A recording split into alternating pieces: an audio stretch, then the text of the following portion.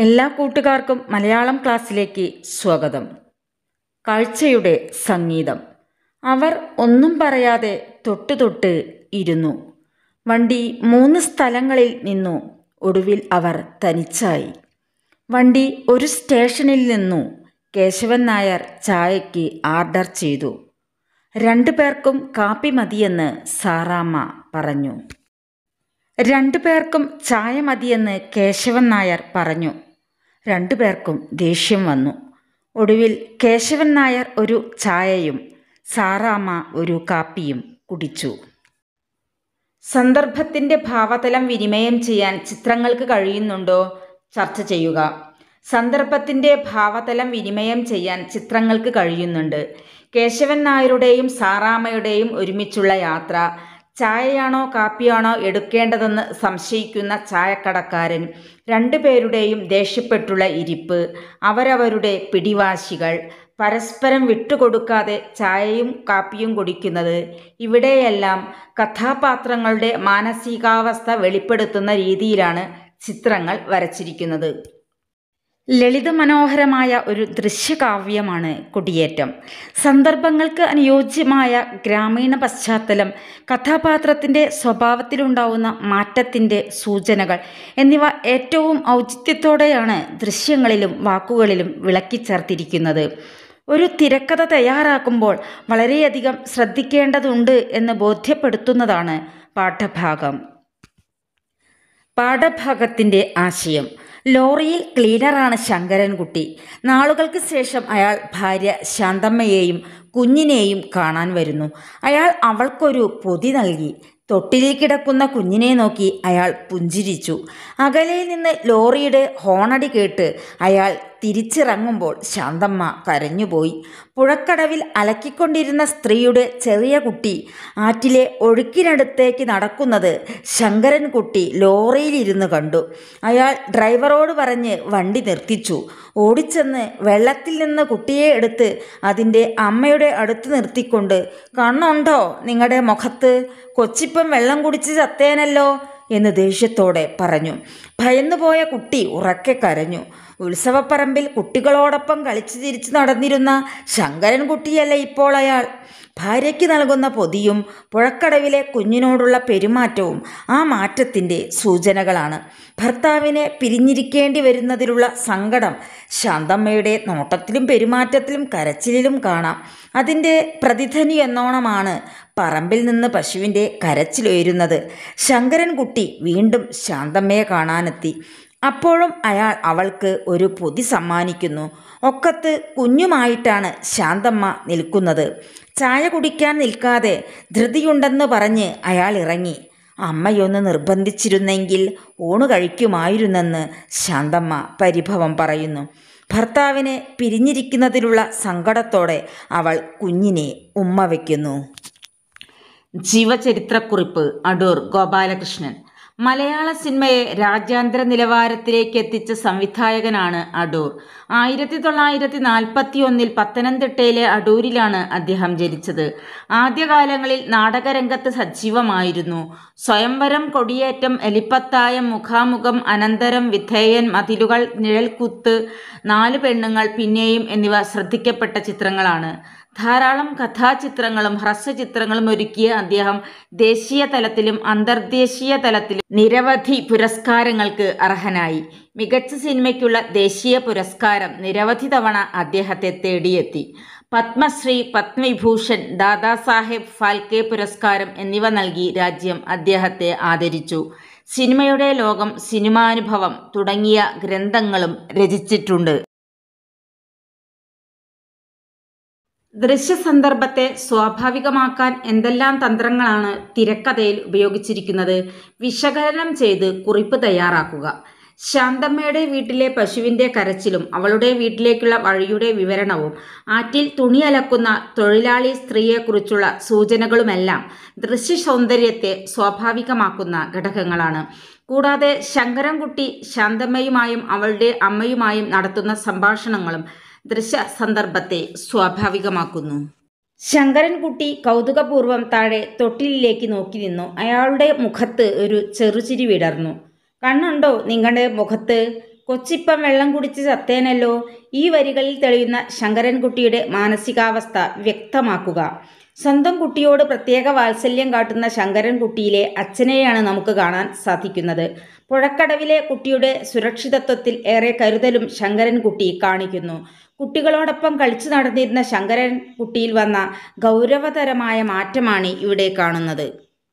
ശാന്തമ്മ ഏങ്ങലോടെ വാതിൽക്കൽ വന്ന് വെളിയിലേക്ക് നോക്കി നിന്നു. അയാൾ മുറ്റത്തേക്കിറങ്ങി പിന്നെയും തിരിഞ്ഞു നോക്കി. പിന്നീട് പുറത്തേക്ക് നടന്നു.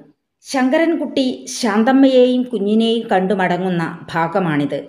ഈ തിരക്കഥാ ഭാഗം ഒരു കഥയുടെ തുടക്കമാണെന്ന് കരുതുക. കഥ പൂർത്തിയാക്കുക. ശങ്കരൻകുട്ടിയുടെ മനസ്സ് വല്ലാതെ വേദനിച്ചു. കാലുകൾക്ക് ഭാരം തോന്നിയ അയാൾ പതുക്കെ കടവിനടുത്ത് നിർത്തിയിട്ടിരുന്ന ലോറിയുടെ അടുത്തെത്തി.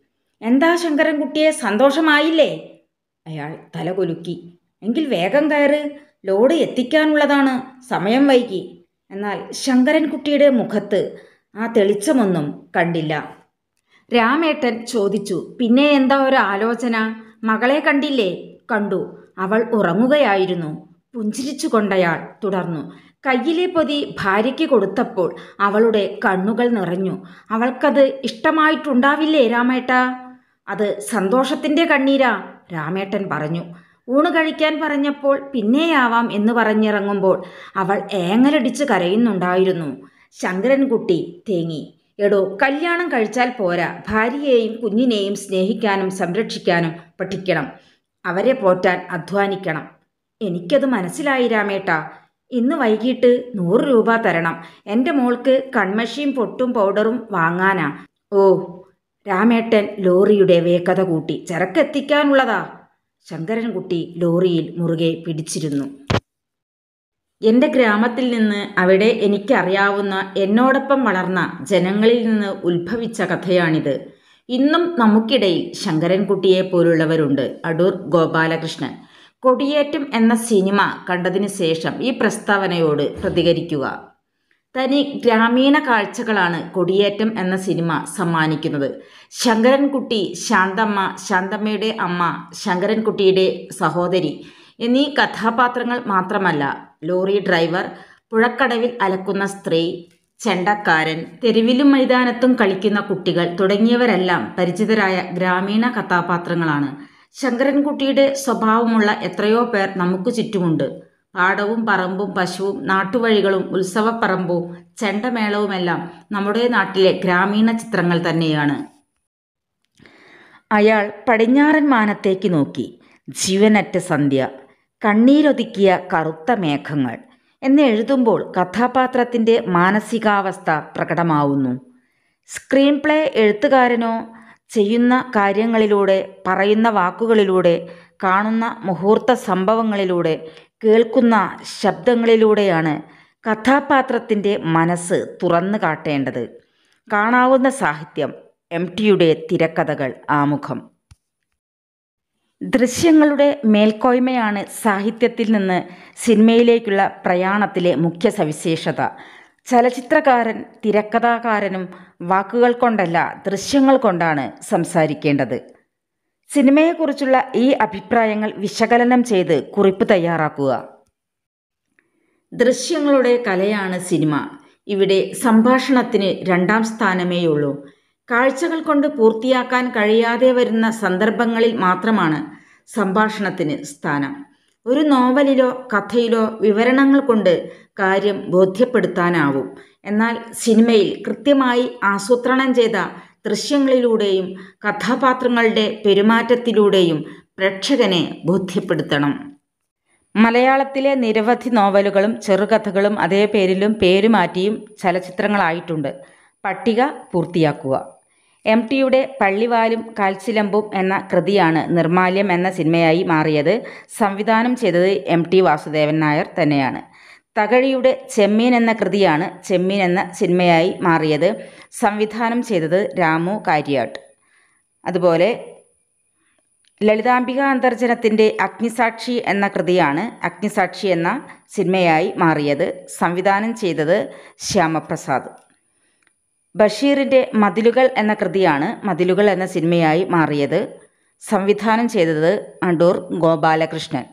പദപരിചയം താണ്ടുക കടക്കുക അക്ഷമൻ ക്ഷമ നശിച്ചവൻ സാന്ദ്രം നിറഞ്ഞത് ആഗതൻ വന്ന ആൾ കാതര ദുഃഖിത പ്രതിവചിക്കുക മറുപടി പറയുക അർത്ഥഗർഭം അർത്ഥപൂർണം അർത്ഥോക്തിയിൽ നിർത്തുക മുഴുവൻ പറയാതെ നിർത്തുക കൊടിയേറ്റം കഥാ സംഗ്രഹം അവിടെയും ഇവിടെയും കറങ്ങി നടക്കുക എന്തെങ്കിലും ജോലി ചെയ്യുക കിട്ടുന്ന പണം കൊണ്ട് വയറു നിറയെ ഭക്ഷണം കഴിക്കുക മദ്യപിക്കുക പരിസരങ്ങളിലെ അമ്പലങ്ങളിലെല്ലാം ഉത്സവത്തിന് പോവുക ഇതാണ് ശങ്കരൻകുട്ടിയുടെ സ്വഭാവം. തിരുവനന്തപുരത്ത് ഏതോ വീട്ടിൽ വേലയ്ക്ക് നിൽക്കുന്ന പെങ്ങൾ സരോജിനി മാത്രമാണ് അയാൾക്കാകെയുള്ളത്. അവരുടെ ശമ്പളത്തിന്റെ ഒരു പങ്ക് ശങ്കരൻകുട്ടിക്ക് അയച്ചു കൊടുക്കും. ശിവൻപിള്ള വേലുക്കുട്ടി സുകുമാരപ്പിള്ള സാർ പാപ്പാൻ പരമപിള്ള പാപ്പാൻ രാഘവൻ എന്നിവരാണ് സുഹൃത്തുക്കൾ. ആരെയും സഹായിക്കാൻ ശങ്കരൻകുട്ടിക്ക് മടിയില്ല. ശങ്കരൻകുട്ടിയുടെ അയൽക്കാരിയായ കമലമ്മ വിധവയാണ്. സുകുമാരപ്പിള്ള സാറുമായി അവർക്കുള്ള അടുപ്പം ശങ്കരൻകുട്ടിക്കറിയാം. സരോജിനി പറഞ്ഞതനുസരിച്ച് വിവാഹദല്ലാളായ കേശവം മാമൻ ശങ്കരൻകുട്ടിക്ക് ഒരാലോചന കൊണ്ടുവന്നു. അങ്ങനെയാണ് ഭവാനിയമ്മയുടെ മകളായ ശാന്തമ്മയെ ശങ്കരൻകുട്ടി വിവാഹം കഴിച്ചത്. എന്നിട്ടും അയാളുടെ ജീവിത രീതിക്ക് ഒരു മാറ്റവും ഉണ്ടായില്ല. പുറത്തിറങ്ങിയാൽ സർവതും മറന്ന് അയാൾ ഉത്സവങ്ങളുടെയും ആനകളുടെയും പിന്നാലെ നടക്കും. ശാന്തമ്മ പലവട്ടം ശ്രമിച്ചിട്ടും ഫലമുണ്ടായില്ല. ഗർഭിണിയായ ഭാര്യ വീട്ടിലുണ്ടെന്ന കാര്യം അയാൾ മറക്കും. മാസം തികഞ്ഞിരിക്കുന്ന മകളെ കാണാനെത്തിയ ഭവാനിയമ്മ അവളെ വീട്ടിലേക്ക് കൂട്ടിക്കൊണ്ടുപോയി. ശാന്തമ്മയുടെ വീട്ടിലെത്തിയ ശങ്കരൻകുട്ടിയെ ഭവാനിയമ്മയും മകളും ഇറക്കി വിട്ടു അയാളൊരു ലോറിയിൽ ക്ലീനറായി. മടുപ്പ് തോന്നിയപ്പോൾ അതുപേക്ഷിച്ചു തിരിച്ചെത്തിയപ്പോൾ വീട്ടിൽ സഹോദരി സരോജിനിയും ഭർത്താവും വന്നിരിക്കുന്നതാണ് അയാൾ കണ്ടത്. ജോലി കളഞ്ഞതിന് അവൾ അയാളെ വഴക്കു പറഞ്ഞു. ഒരു രാത്രിയിൽ അയാൾക്ക് അവൾ ഭക്ഷണവും കൊടുത്തില്ല. അയൽക്കാരിയായ കമലമ്മ അമ്പലക്കുളത്തിൽ ചാടി മരിച്ചു. സുകുമാരപ്പിള്ള സാറിൽ നിന്ന് അവൾ ഗർഭിണിയായ കാര്യം ശങ്കരൻകുട്ടിക്കറിയാമായിരുന്നു അയാൾ പൊട്ടിക്കരഞ്ഞു. വീണ്ടും അയാൾ ലോറിയിൽ ജോലിക്ക് പോയി തുടങ്ങി. അയാളുടെ സ്വഭാവത്തിലും കാര്യമായ മാറ്റം വന്നു. നല്ല വസ്ത്രം ധരിച്ചു. മീശ വടിച്ചു. അയാൾ ഭാര്യയെയും കുഞ്ഞിനെയും പറ്റി ഓർത്തു. അയാൾ അവരെ കാണാൻ ചെന്നു. അവൾക്ക് പണം കൊടുത്തു. സ്നേഹത്തോടെ ഭാര്യയെയും കുഞ്ഞിനെയും നോക്കി പുഞ്ചിരിച്ചു. പുടവയും വാങ്ങിക്കൊണ്ടാണ് അയാൾ വീണ്ടും അവരെ കാണാനെത്തിയത്. സന്തോഷത്തോടെ അവൾ അത് വാങ്ങി. ശങ്കരൻകുട്ടിയുടെയും ശാന്തമ്മയുടെയും ജീവിതം ശാന്തമായി ഒഴുകിത്തുടങ്ങി.